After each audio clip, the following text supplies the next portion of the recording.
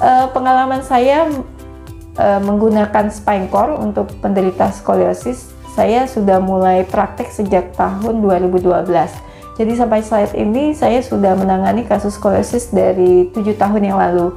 Dan selama tujuh tahun ini tentunya beragam beragam banyak kasus yang saya temui dan usianya pun juga dari yang sangat kecil bahkan yang sudah mungkin lanjut usia. Testimoni dari berbagai pasiennya juga cukup banyak dan tentunya secara real dari hasil saya sendiri eh, pasien-pasien saya itu hasilnya cukup baik tapi memang sangat eh, berperan besar adalah kepatuhan pasien jadi spine core ini merupakan alat yang kita pakaikan, tapi yang memakai adalah si pasiennya. Jadi di awal saya sangat menekankan sekali kepada setiap pasien saya bahwa keberhasilan dari spine core ini itu sangat besar pengaruhnya adalah dari pasien sendiri.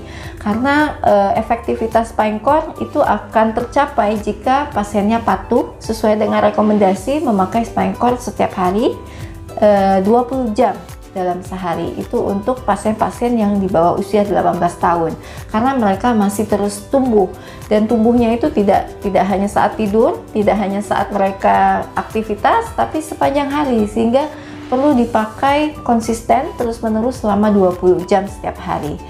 Dan tentunya ada pasien saya yang patuh, ada yang tidak patuh.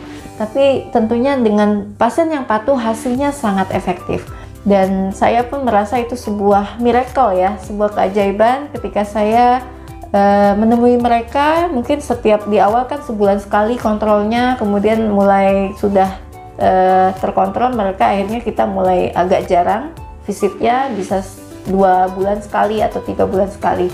Dan seiring waktu saya bertemu dengan mereka mereka makin tumbuh. Yang waktu itu mereka masih SMP dan sekarang sudah ada yang kuliah sampai semester 2 itu hasilnya sangat baik, signifikan, dan derajatnya pun juga berkurang. Secara fisik tentunya postural mereka jauh lebih baik. Yang tadinya mereka sangat bengkok, nampak sekali dan mungkin sangat miring ke kanan atau ke kiri.